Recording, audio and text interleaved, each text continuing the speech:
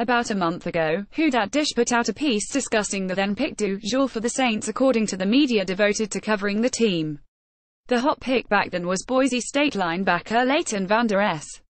Two days before the draft, the Twitterverse of these sports writers and bloggers is all abuzz about a cornerback for the Saints in the first round. It's hard to pinpoint where these buzz picks start, but they catch on like wildfire. In the past couple of weeks there has been a lot of verbiage devoted to Iowa cornerback Josh Jackson and, as outliers, UCF's Mike Hughes and Louisville's Jaire Alexander. The need for a first-round cornerback in the 2018 NFL Draft isn't something that's coming from Sean Payton or anybody else in the Saints organization. And there's a reason for that. The team already has two solid starting corners in Marshon Lattimore and Ken Crawley. Further, they already added Patrick Robinson in free agency. Also on the roster are future hopefuls Arthur Maulet and Justin Hardy. Ken Crawley but, just to be clear, Ken Crawley is a solid corner.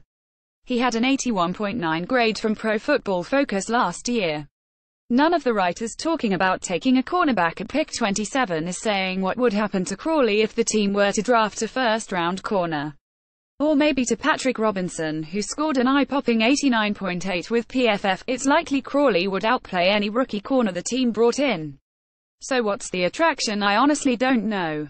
I don't get it. I could rationalize taking a linebacker, even a safety. But the Saints are just fine at cornerback. And, oh, by the way, the odds of Josh Jackson falling to 27 are scary low. There's a reason cornerback WASNT even mentioned in my latest mock draft. The team may like to have some depth, but that will come later in the draft. Possibly even from an undrafted rookie, or even from the waiver wire following final cuts in early September. But the starters for the Saints at cornerback are set for 2018. And there are other needs like pass rusher and tight end that should be addressed first.